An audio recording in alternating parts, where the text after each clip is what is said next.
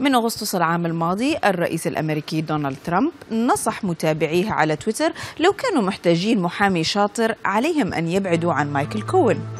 الغريب هو أن مايكل كوهين محامي ترامب لأكثر من عشر سنوات وكان بيظهر في البرامج للدفاع عن ترامب. وحتى كان يقول أنه مستعد يأخذ رصاصة في صدره بدل الرئيس. ليش بعد ما كان مقرب صار اليوم مغضوب عليه؟ القصة مثيرة جدا والبداية كانت مع سؤال المحققين لكون عن وضعه المالي الشخصي. باختصار سألوه من أين لك هذا؟ وكان هذا الكلام خلال أول سنتين من ولاية ترامب.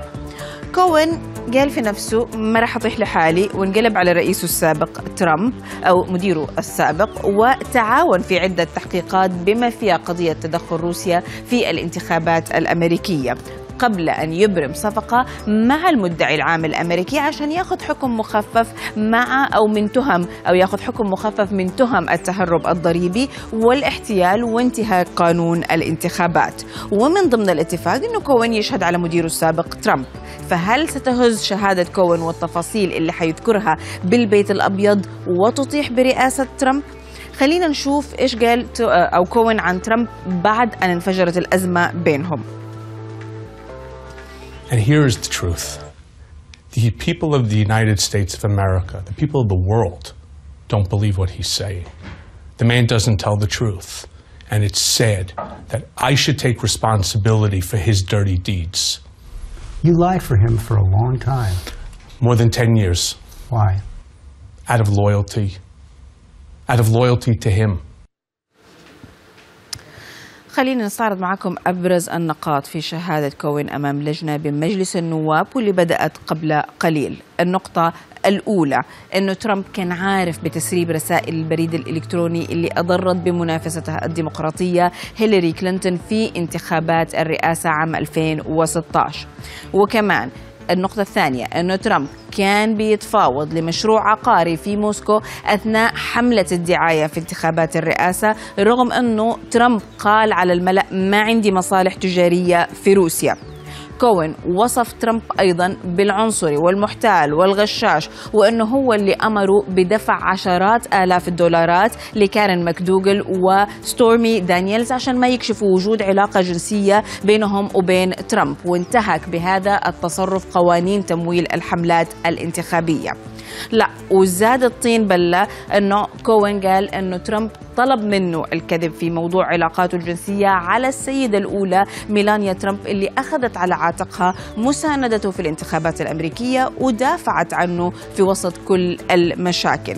وفوق هذا كله حيأكد أنه ترامب كان على معرفة باجتماع في في برج ترامب أو ترامب تاور في نيويورك يونيو 2016 بين مسؤولي حملة ترامب الانتخابية ووفد روسي خاصة وأنه اعترف رسميا أنه انتهك قوانين تمويل الحملات الانتخابية وقال أنه سوى كده للتأثير على مسار الانتخابات وبناء على أوامر ترامب اللي هو كان المرشح الرئاسي وقتها.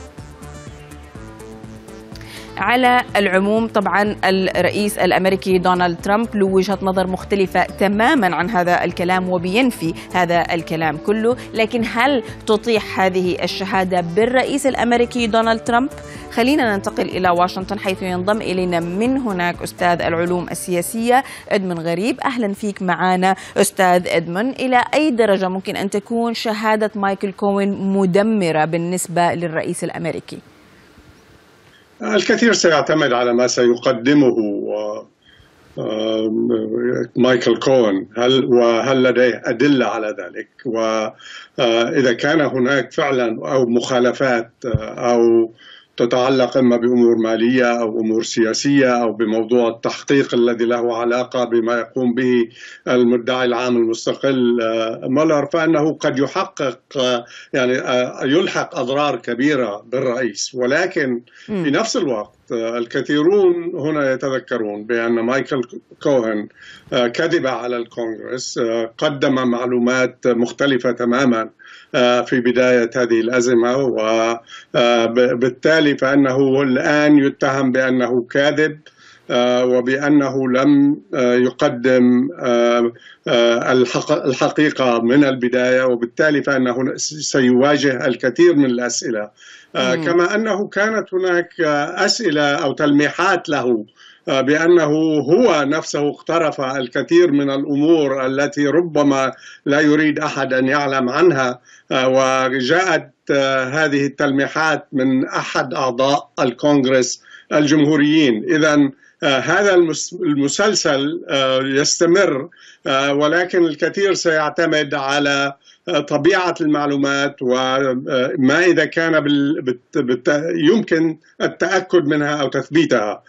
ولذلك أعتقد أنه في نفس الوقت الذي سيحاول الديمقراطيون استغلال هذه الشهادة إلا أن هناك جمهوريين سيدافعوا عن الرئيس وكذلك الأدلة ستكون مهمة هنا كما أن كوهن يفتقر إلى المصداقية وبالتالي فهو عليه أن يثبت بأن أن لديه معلومات صحيحة ودقيقة ويمكن أن تكون مؤذية للرئيس طب ما هو موقف الرئيس من هذه الطعنة خلينا نقول؟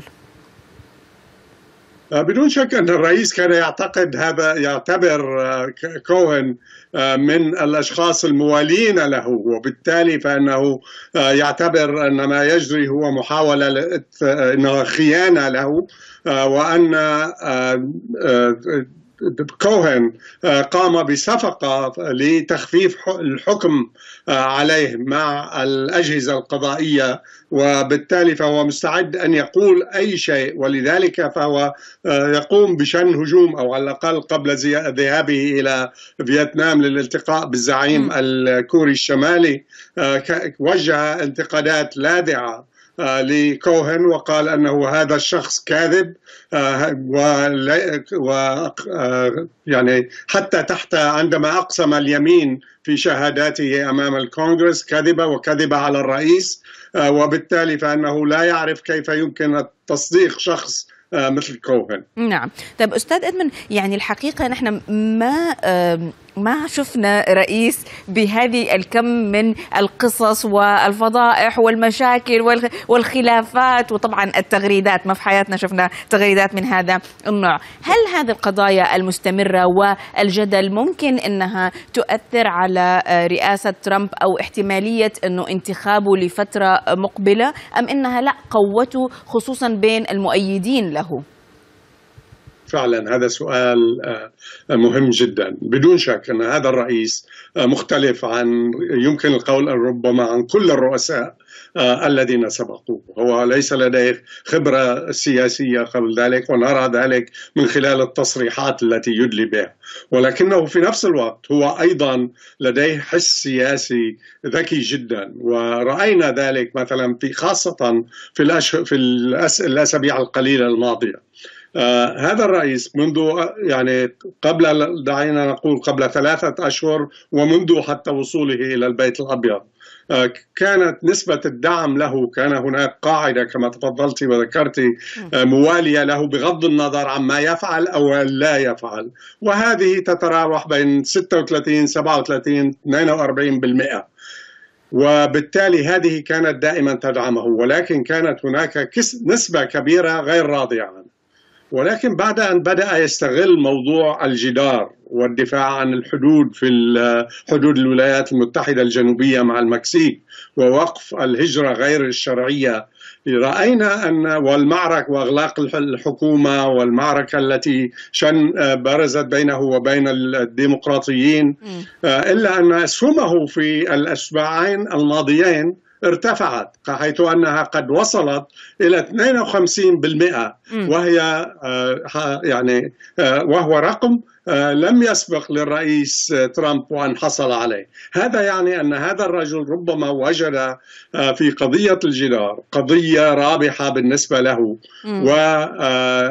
وسيستغلها في الانتخابات القادمة. حتى أن بعض المحللين ذكروا بأن الرئيس ربما أخر محاولته للحصول على خمسة مليار دولار من الكونغرس عمدا وذلك لأنه يريد أن يستخدم هذه القضية في معركته ضد المرشحين أو المرشح الديمقراطي آه، في انتخابات 2020 آه. ويبدو حتى الآن أنه هو ليس صحيح ويواجه الكثير من المشاكل الكثير من التحديات آه، هناك حتى آه، بعض الأصوات الجمهورية التي تعارضه إلا أنه يبدو الآن آه، في وضع في آه، أقوى مما كان عليه آه، قبل أسابيع حتى ولكن نعم. طبعا لا يزال يواجه الكثير من. التحديات وأعتقد أنه يجب أن ننظر إلى ما سيحدث آه، في آه، إذا قدم آه، مولر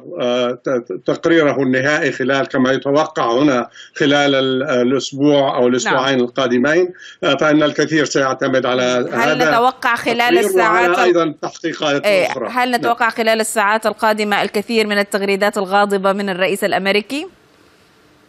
أعتقد أنه الآن منشغل بموضوع آه، الرئيس آه، اجتماعه مع الرئيس الكوري ولكن آه، يجب أن لا نتفاجأ إذا فعلا غرد حول هذا الموضوع. نعم. طيب آه، نحن بنشكرك على هذه المداخلة. كان معنا من واشنطن أستاذ العلوم السياسية إدمان غريب. شكرا لك.